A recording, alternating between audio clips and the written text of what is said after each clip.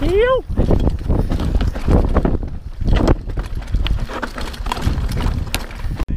do you, so far, what do you, how do you, big time air, big time air. You know, I'm gonna probably work up to a backflip here pretty soon, but uh, I don't want to embarrass you, Ricky. oh man. Woo!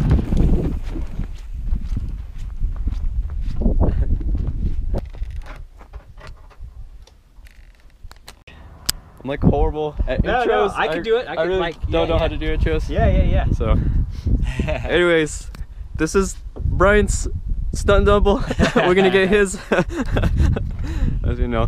No, really, I am. I'm like pretty shocked that your your tech your techie skills. They did really good. That is one thing I can I'm pretty good at now and I'm getting better and better all the time, especially the techie climbing. I can that's like my one thing.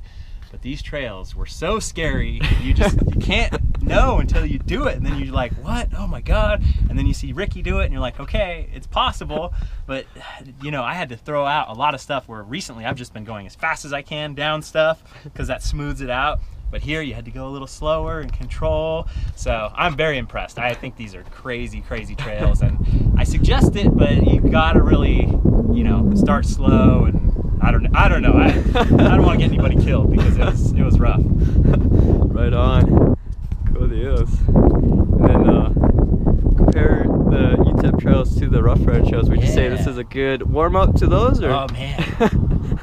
the yeah the UTEP trails are probably a decent warm up to the Rough Rider Canyon trails because you can't it's still nasty out here but it actually gives you a good taste and you're not a thousand miles away from civilization so if you hurt yourself you can probably get rescued pretty quickly versus out there there's no cell signal it's a thousand miles so this is uh yeah this is the way to test out your skills Right on.